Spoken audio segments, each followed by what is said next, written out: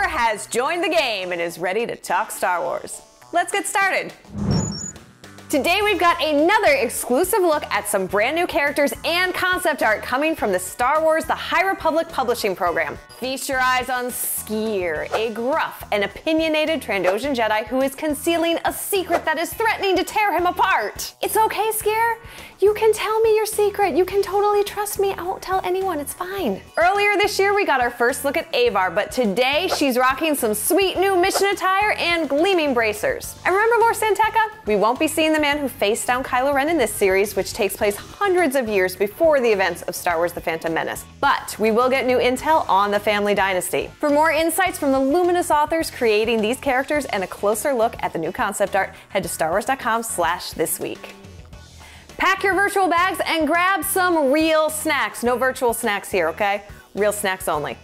Tomorrow we're headed to San Diego Comic Con 2020 from the comfort of your living room. First up at 11 a.m. Pacific time, take a closer look at the Star Wars audiobook original Dr. Aphra with a panel dedicated to the new adaptation of the original Marvel comic book series. Then at noon Pacific time, join me and Lucasfilm senior editor Robert Simpson as we host the annual Lucasfilm Publishing panel. Special guests include Timothy Zahn, Alex Segura, Justina Ireland, and so many more of our favorite Star Wars authors. Plus, check the SDCC schedule for panels on Star Wars toys from Mattel. The fun starts Friday on the official SDCC YouTube channel with select panels streaming on StarWars.com.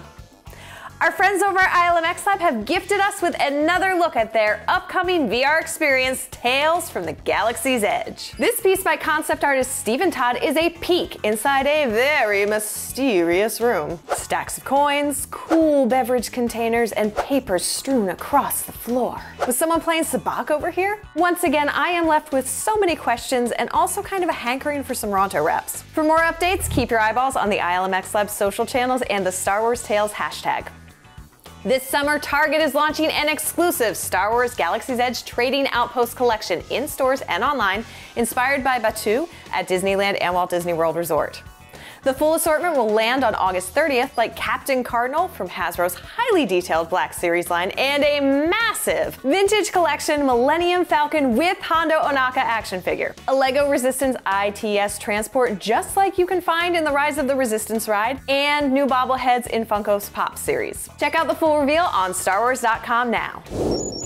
This week in Star Wars history, back in 1978, on July 21st, Fans were treated to a theatrical re-release of Star Wars just one day after the official first US run ended. In the days before even VHS allowed us to watch and rewatch our favorite moments, this re-release gave moviegoers a chance to relive all their favorite scenes for a limited run that ended that November. The version of the film also included a new line of dialogue from our favorite fretting golden friend, C-3PO. The tractor beam is coupled to the main reactor in seven locations.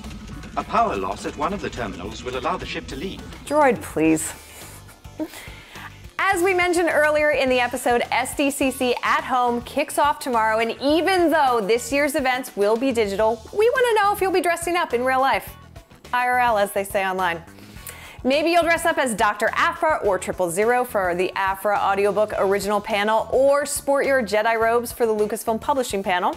The options are pretty much endless, and just think you could wear your most complicated cosplay and not have to worry about the San Diego summer heat. That's a win-win. And if you're staying in sweats, but thinking back to past years, we would also love to see some of your past SDCC cosplays that you are most proud of.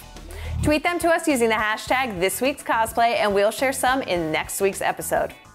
That's it for this week, but for more on these stories and other news from around the galaxy, check out StarWars.com. And be sure to join us right here for This Week in Star Wars every Thursday. Thanks for watching, and may the Force be with you.